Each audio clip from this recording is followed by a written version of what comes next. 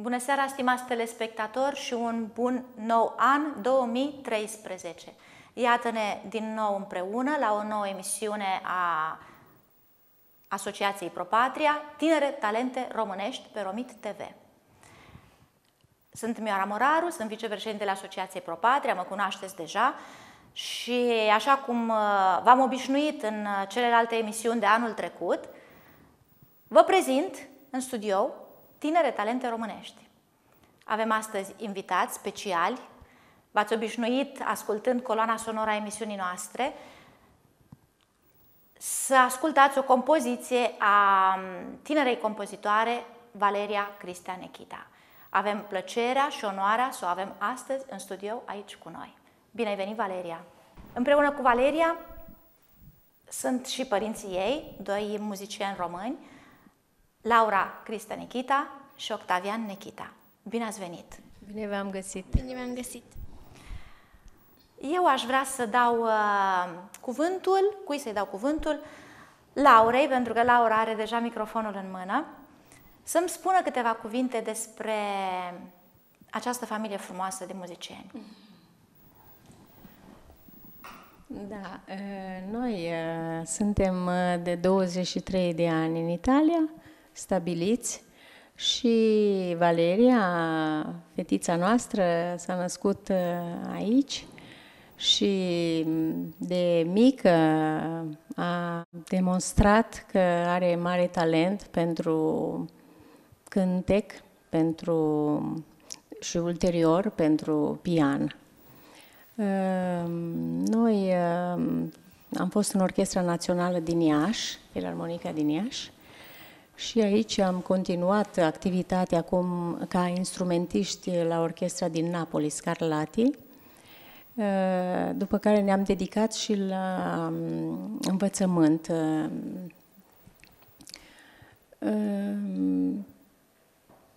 Să întrebăm pe Valeria un pic cum, uh, cum a început Valeria să cânte. Dai, Valeria, cum ai început să cânti? La ce vârstă? Hai, zim la ce vârstă. Ho iniziato a suonare il pianoforte okay. a tre anni e mezzo, a giocare con la musica perché Brava. mi sentivo attirata dai suoni e ha iniziato a crescere in me piace- questo piacere per la musica eh, di provare e riprovare e ogni giorno dai 5 minuti eh, che mi dedicavo a, al piccolo pianoforte che avevo all'e- all'epoca Uh, ho iniziato a studiare poi 10 minuti, uh, poi sempre di più, fino a, e quando man mano che crescevo arrivavo anche a un'ora, anche di più. Il, all'inizio ho iniziato col metodo Yamaha e, mm, e niente, ero seguita dai miei genitori e mm, a sette anni uh, sette anni, sette anni e mezzo, um, già suonavo uh, le um, invenzioni a due voci di Bach. Bravissima. E, um, e molti altri brani, molti studi di uh, Clement, di Cerniana, di Cerni. E sono, volevo far parte del... Cioè, sono entrata al conservatorio con 10. Tu stai dicendo tutto tutto Diretta. una volta, così un, un, dall'inizio alla fine. Prima di tutto dobbiamo ricordare che Valeria ha 12 anni, quindi a 12 anni lei ha già, dato, ha già fatto una, una bella esperienza musicale, ha già un curriculum da invidiare da ogni adulto. E sì, sei entrata con il 10 al conservatorio, vai. E direttamente vai, vai. al terzo anno e niente, mm, quest'anno ho fatto il quinto anno con 10 e lode, adesso sto al sesto anno di pianoforte e mi sono iscritta al primo anno di composizione perché io sempre col metodo Yamaha. Eh, a me piace molto comporre e allora ho scritto eh, varie composizioni, tra cui mh, mm, una tra queste, Teme e variazioni. Eh, l'ho suonata a Vienna rappresentando Italia e mi hanno scelto per rappresentare Europa a Tokyo al Festival di Giovani Compositori. È stata veramente una bella esperienza condividere con altri ragazzi la, stesso, la stessa pa- passione per la musica e di questo sono molto contenta. Anche noi siamo contenti che ti abbiamo scoperto, che siamo, abbiamo la possibilità di, farti, di presentarti a tutti, tutti gli altri che ci stanno vedendo adesso. Io adesso vorrei fare una piccolissima pausa per dare un piccolo contributo per vedere un pochettino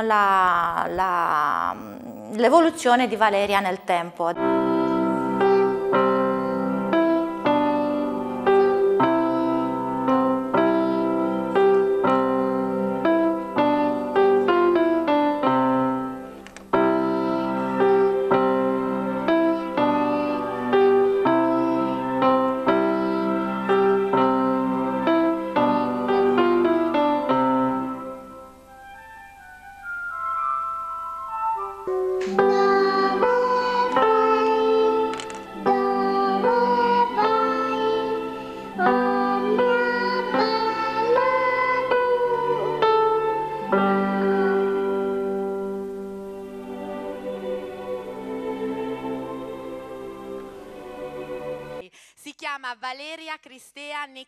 Della scuola Doremi di Avellino esegue un brano di Dmitri Shostakovich, Tanz der Puppen, danza delle bambole.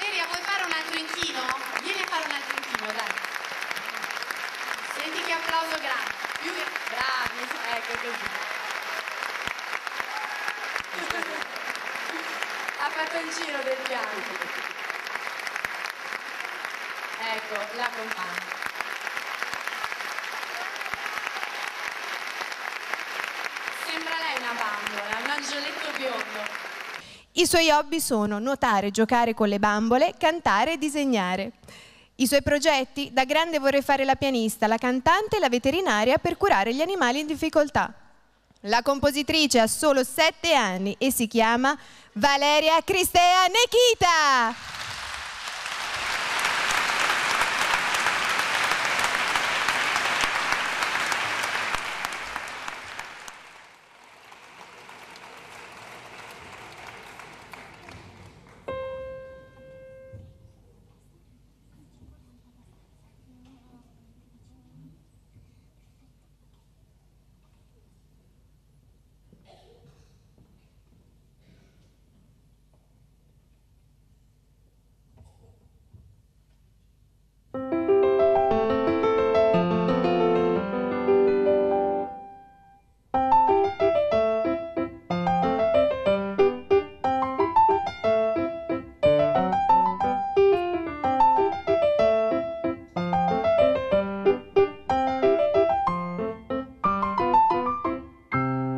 Valeria Cristea Nikita.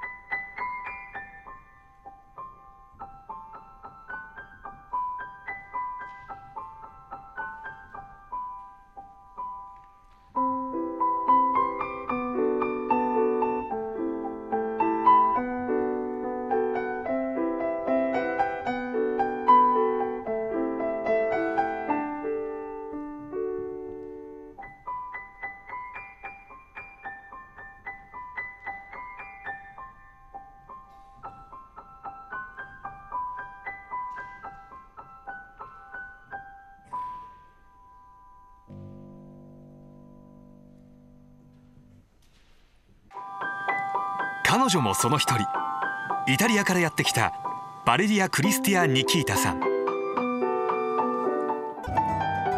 そんな彼女が今回演奏するのは一体どんな曲なんでしょう Io con questo brano ho voluto esprimere gli stati d'animo di un bambino quando è triste, quando viene cullato dalla mamma, quando piange, quando corre, quando gioca, eccetera.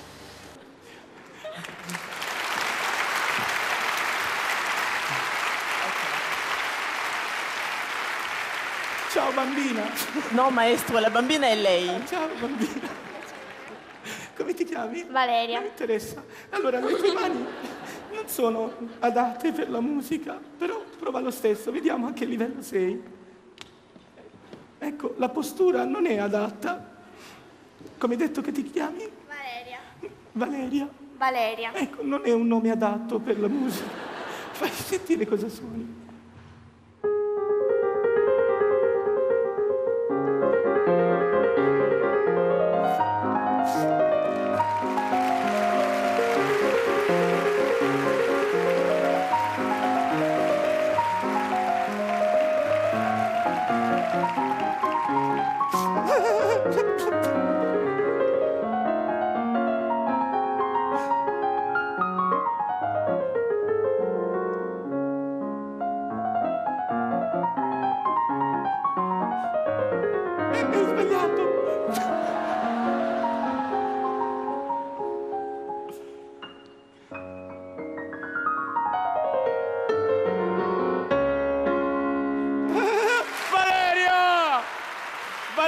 Di cognome. Cristea Nikita.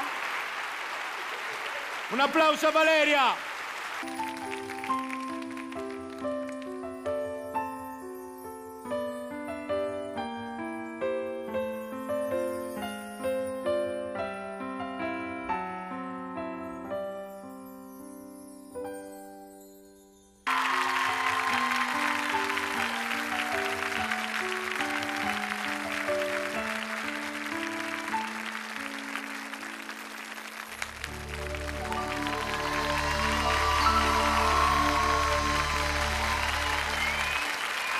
Allora, allora, gli altri li avete riconosciuti perché sono ragazzi di casa, sono tutti loro. Ma questa splendida, elegantissima pianista si chiama Valeria. Dico bene Valeria? Complimenti, hai anche un cognome. Valeria come? Cristea Nikita. Ah, va bene, non l'ho capito, per cui va bene Valeria. Grazie e complimenti, complimenti. întoarcem în studio cu Valeria Cristanechita și invitații ei, părinții, Laura Cristanechita și Octavian Nechita. Continuăm cu, cu Octavian. Octavian, ce, ne, ce, ce poți să ne povestești? Pentru că ai multe de povestit. Da, sunt, sunt uh, multe emoții. Uh, Suntem onorați pentru, pentru, că, pentru că ne-ați invitat la emisiunea dumneavoastră.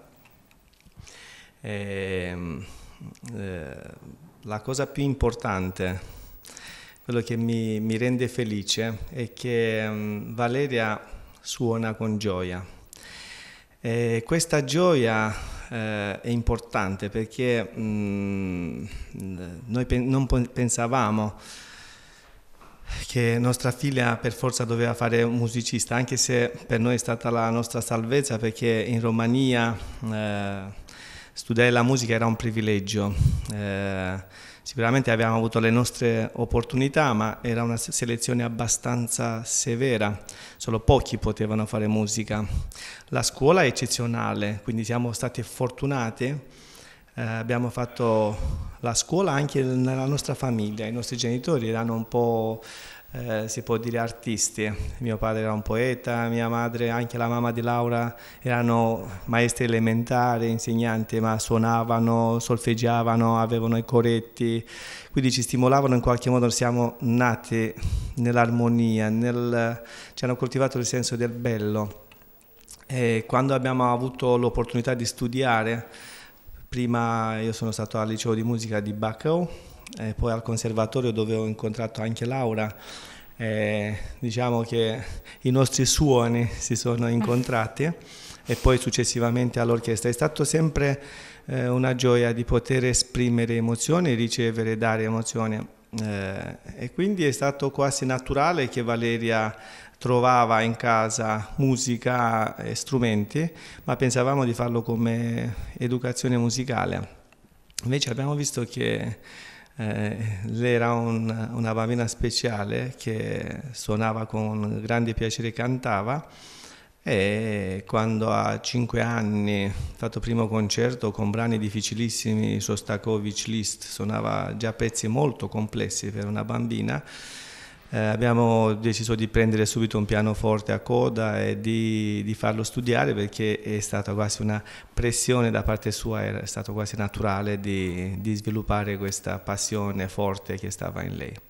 E noi l'abbiamo assistita e chiaramente eh, siamo stati molto felici di, di scoprire questa, questa, passione. Volevo dire però questo, che eh, una svolta nel nostro modo di pensare, perché noi siamo anche insegnanti, è stata proprio questa, questo contatto con il mondo Yamaha. Questo è un metodo giapponese e loro avevano come motto la musica è per tutti. Sappiamo che nei conservatori anche in Italia ma anche in Romania non è così perché la selezione è durissima e solo la musica è per pochi. Per pochi. Invece loro dicevano no, eh, come mezzo di educazione ma anche eh, crescita spirituale la musica deve essere praticata da tutti, come anche la danza, come anche se vogliamo per le altre materie, per la matematica, per la grammatica. Magari non tutti faranno attori, ma tutti sapranno leggere e certo. scrivere. Quindi mi sembrava abbastanza interessante come modo, perché noi abbiamo vissuto la musica come, come giusto che eh, era una selezione, quindi si doveva studiare. In Romania poi erano pochi conservatori, ma una selezione cioè, basata tutta sulla meritocrazia. Mm. E quindi da un lato era positivo perché non si davano speranze a una persona che non eh, era disposta a sacrificio, a studiare seriamente o non aveva tanto talento. Da un altro lato si privava la possibilità di una persona di poter eh, conoscere questa, questa grandissima esperienza che la musica ti può dare.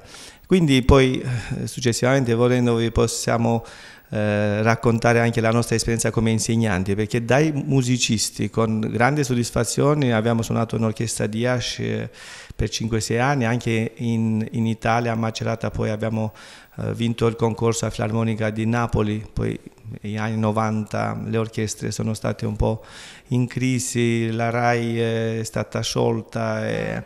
però comunque le soddisfazioni come insegnanti sono state enormi e abbiamo cominciato eh, la nostra vita con la musica. Con la musica. Come siete arrivati in Italia? Con la nostra orchestra, Filarmonica ecco. Moldova di Iași, al Festival di Macerata, Festival di Opera, che è secondo come importanza dopo Arena di Verona. Ogni anno diciamo che venivamo ad aiutare quel gruppo marchigiano che era già sul posto. E, grandi sono state le soddisfazioni perché noi abbiamo avuto la fortuna eh, sia in Romania mm, di collaborare di avere dei direttori d'orchestra che sono stati per noi eh, delle, delle, stelle illuminanti perché eh, che vi posso dire come maestro Andresco, maestro Mandial, maestro Ion Baciu che ha creato una famiglia, non un'orchestra, che oltre a essere musicista, a avere quella sensibilità di cercare di unire un'orchestra intera, anche a livello affettivo, umano, erano delle persone straordinarie. E, ehm, la ricchezza che ci portiamo dai nostri insegnanti del conservatorio e dai nostri mentori eh, da, già i genitori in primis, eh, e sono, è questa che noi vogliamo trasmettere a Valeria, sono dei valori che eh, metterei proprio al primo posto l'onestà nell'impegno, che con la musica non si può mentire. Eh, più investi, più trovi. Per cui um, non puoi nasconderti, è proprio alla luce del sole e soprattutto um, più dotato, più doti hai, più talento hai, più devi lavorare.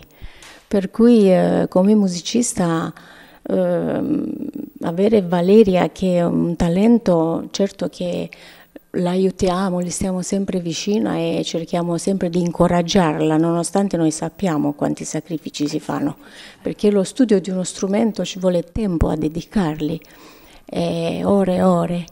Però le soddisfazioni che noi abbiamo avuto, che lei eh, già ha iniziato molto prima di noi ad averli, si rende conto che tutto viene ripagato. E, però come mamma certo che mi dispiace perché in una società come questa ehm, dove i valori a volte si perdono, i ragazzi magari escono, mm, fanno passeggiate, eh, per Valeria questo è un po' ehm, più raro, ecco. lei ha le amicizie sue, però mm, giustamente ogni, ogni minuto, ogni, è molto contatto perché tra la scuola dove lei studia anche una scuola linguistica che è molto importante eh, sapere le lingue, eh, studia tedesco, francese e inglese, in quanto ha visto che a Vienna i bambini da tutta Europa parlavano, comunque giocavano dopo il festival. Certo. eh, e dice mamma devo, devo perfezionarmi devo a Tokyo. l'importanza e adesso anche a scuola è bravissima perché ci tiene. E quando è andata già a Tokyo